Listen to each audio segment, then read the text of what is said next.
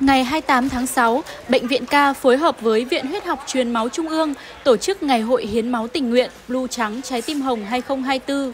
Đây là hoạt động mang tính nhân văn sâu sắc, được tổ chức thường niên trong 9 năm vừa qua tại bệnh viện. Đặc biệt, chương trình năm nay nằm trong chuỗi các hoạt động chào mừng kỷ niệm 55 năm ngày thành lập Bệnh viện Ca 17 tháng 7 năm 1969, 17 tháng 7 năm 2024. Cũng nhiều lần hiến máu rồi, thực sự thì mình cũng không đếm nổi nữa.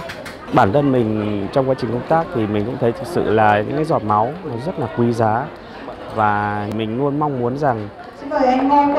những cái giọt máu này có thể giúp đỡ được phần nào cho họ. Thì xã bên Việt Nam mình là hiến máu khoảng bốn năm lần gì đấy, còn đâu là trước khi sinh viên mình cũng hiến máu khá là nhiều.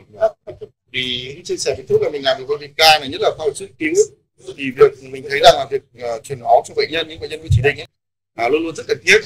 Mình thấy rằng là cái việc mà đi hiến máu này là một nghĩa cử rất là cao đẹp với mọi người nếu mà có đủ sức khỏe thì cũng nên đi hiến máu để cho đến cái phần máu của mình để giúp những người bệnh trong tương lai đúng là rất nhiều bệnh cần thiết Kết thúc ngày hội Blue Trắng Trái tim Hồng, Viện Huyết học Truyền máu Trung ương đã tiếp nhận gần 300 đơn vị máu từ các y bác sĩ tại Bệnh viện Ca Tân Triều. Đây là món quà ý nghĩa dành tặng những người bệnh đang chiến đấu giành lại sự sống và nối dài hy vọng cho các bệnh nhân cần máu.